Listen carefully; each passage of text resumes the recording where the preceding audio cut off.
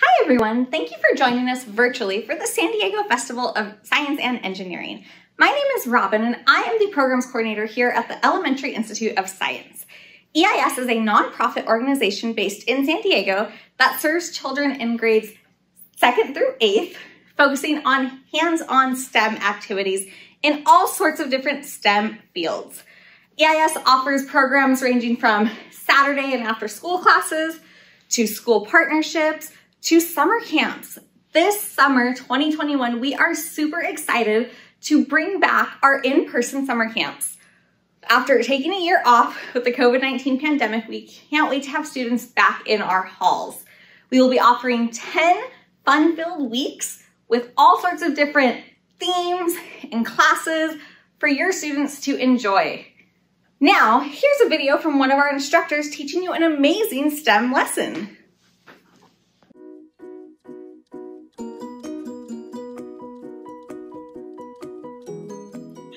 Everyone, my name is Miss Maria and I am one of the engineering teachers here at the Elementary Institute of Science. Today we are going to be talking about stethoscopes. Now you may say, oh, I thought that was something a doctor uses, so wouldn't that be a biology topic? And you would be right. But doctors were not the ones who designed and made the stethoscope.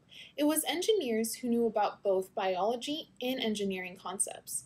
These engineers are called biomedical engineers, and we are going to learn a little bit more about them today. So, when someone is sick or hurting, they usually go to a doctor or a nurse to make them feel better. However, these doctors and nurses get help from people called bioengineers. These engineers work together to create machines, devices, and other technologies that are used in hospitals by doctors and nurses. For bioengineers, it is important for them to learn about the human body and engineering because they must know both to create the best equipment for hospitals. A stethoscope is just one example of a medical device. Let us look at some others. So we have something called an x-ray an MRI, and an ultrasound. And all these um, devices take pictures of the inside of your body so doctors know what is going on inside of it. We also have prosthetics, which means an artificial device that replaces a missing body part. We also have some metal pins that hold bones and muscles in place when they are damaged, and you can see that here. We also have a pacemaker, which is really important because it goes inside of the heart when someone's heart does not beat correctly. And then lastly, we have a hearing aid, which is for people who have trouble with their, with their hearing. And these are just um, some examples of medical devices, and there are so many others. So now let us look closely at the different parts of the stethoscope and how it works. A stethoscope is used by doctors to detect heart and breathing sounds and see if there are any abnormalities. Now let us look at the different parts of the stethoscope. So first, we have the chest piece. And this is made of two different parts, the bell and the diaphragm. The diaphragm is the flat metal disc that excels in capturing the higher pitch range of sounds, which includes normal breathing sounds and heartbeats. And then we have the bell, which is the smaller part. It's the hollow bell-shaped piece of metal with a tiny hole on the top. This part is better at picking up low-pitched sounds, such as heart murmurs, which is not a good sound to hear. So this whole part helps the doctor to hear your heart. So next time you go to the doctor, notice how they will use both sides of the chest piece to listen to your heart. Next we have our tubing, so that's the black part. Um, this is this this is where the sounds are picked up and they travel through this tube until the, until they split up into the two channels that you see here so that the listener can hear the sound in both ears. And then lastly, we have our ear tips. And these are made of soft rubber, which is for comfort, but also to create a seal that helps block out all the surrounding noise. This is to help the doctor hear the sounds accurately.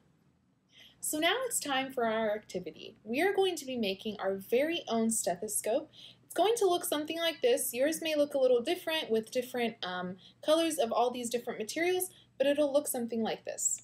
So let's go through our materials. First, you're going to need some scissors.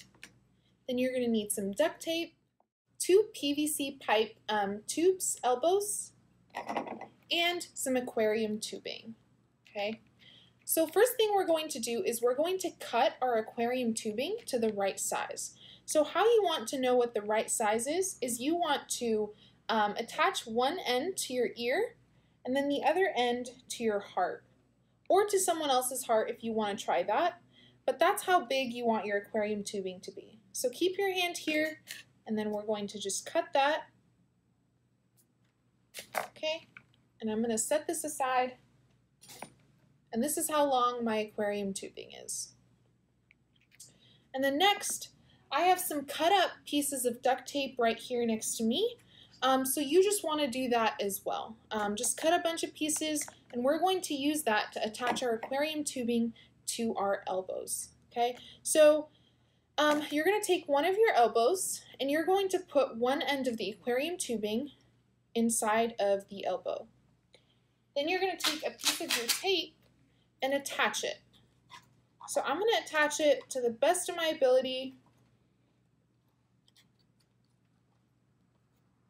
And the most important thing here is that your aquarium tubing does not fall out of the tube, uh, does not fall out of the elbow. So I'm going to use as many pieces of tape as I need to in order to make sure that it's stuck in there.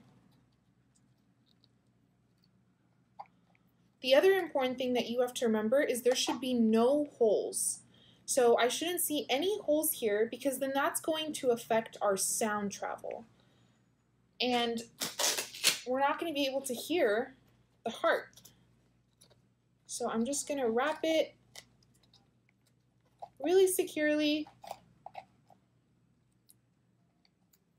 and just like that. So you can see that I have no holes at all.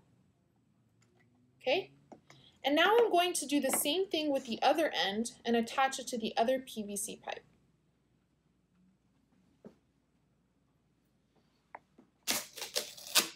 This may be a little tricky, so you can ask for some help from an adult or someone around you to get that tubing inside and nice and secure.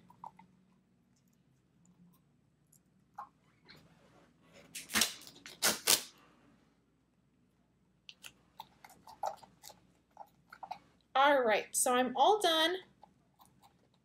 And there you go. There's my stethoscope. So what you want to do in order to test it out, you want to put one end to your ear and the other end to your heart. And listen real closely and be super quiet so you can hear your heartbeat. Thank you for joining in today. I hope you had fun um, building your stethoscopes and I hope you learned a lot as well. Make sure you share some pictures of your stethoscopes to EIS's social media pages. Bye!